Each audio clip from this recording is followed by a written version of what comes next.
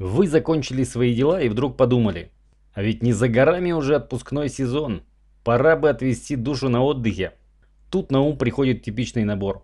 Навязчивый Египет, шумная Турция, непонятный Таиланд, суетная Европа, сладкое Средиземноморье. Что же выбрать? Никто не волен навязывать вам свои вкусовые предпочтения. Но об одном могу сказать вполне уверенно. Отдыхать можно хоть где, но главное в отдыхе – результат. Результат, который вы привезете из поездки.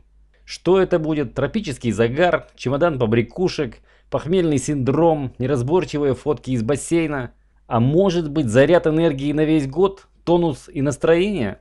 Я прекрасно понимаю вас, хотя вы и наслышаны о таком чуде, как озеро Байкал, решиться ехать туда в первый раз не так-то просто.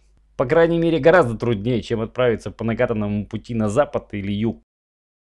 Меня зовут Стас Тюриков. Вот уже второй год я занимаюсь темой активного туризма внутри России.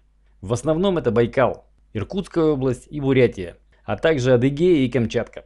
Здесь на моем сайте я попробую заочно познакомить вас с прелестями именно активного и экскурсионного туризма – Расскажу о достопримечательностях и секретах некоторых мест. И, конечно, о своем туристическом опыте и опыте других путешественников.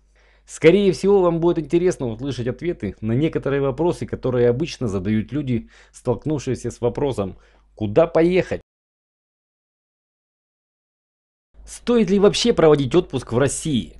В частности, на Байкале. Каких приятных сюрпризов можно ждать от поездки на Байкал? Что принципиально отличает активный туризм от других видов отдыха?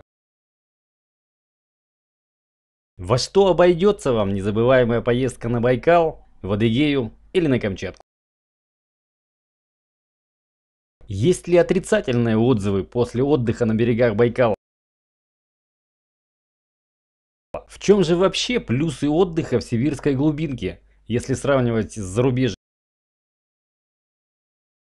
Скорее всего, вы давно уже лелеяли мечту провести законный отпуск в заповедных сибирских краях, ведь вы наслышаны о них с детства. Но, как обычно, вас останавливают серьезное расстояние, мнимое отсутствие комфортных условий, да и в одиночку ехать в первый раз как-то боязно. Я рассею ваши сомнения и помогу вам. Не такие уж это и расстояния, не такая уж там глушь и отсутствие цивилизации, да и ехать вам все равно в компании. Даже если группа не набирается в Удмуртии, все равно вам не придется в одиночку разъезжать по берегам священного озера. Группу наберут там, непосредственно на Байкале, в Иркутске, Братске, Улан-Удэ, и вы присоединитесь к ней в первый же день после приезда или прилета в один из этих городов.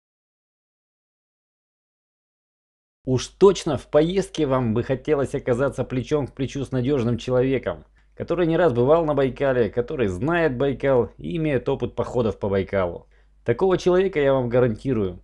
Мои байкальские партнеры предоставят вам для всех своих туров опытных, надежных и даже обаятельных инструкторов и гидов, которые прекрасно знают свое дело и не первый год сопровождают туры, экскурсии и походы по берегам Байкала. Я знаю, часто бывает так, человек узнал об интересном туристическом направлении, вспомнил об своих мечтах, потом прочитал описание, посмотрел на цены, все приемлемо. Но не хватает духа решиться на поездку, пойти в разрез стереотипу. Ведь все вокруг ездят в Азию, в Европу, на Ближний Восток. Если вы сейчас в таком же положении, не откладывайте. Свяжитесь со мной, и я найду для вас доводы и рассею мнимые сомнения, которые мешают воплотить вашу мечту. Сделайте решающий первый шаг, и на втором вы уже почувствуете нашу поддержку, а третьим будет долгожданная поездка на Байкал.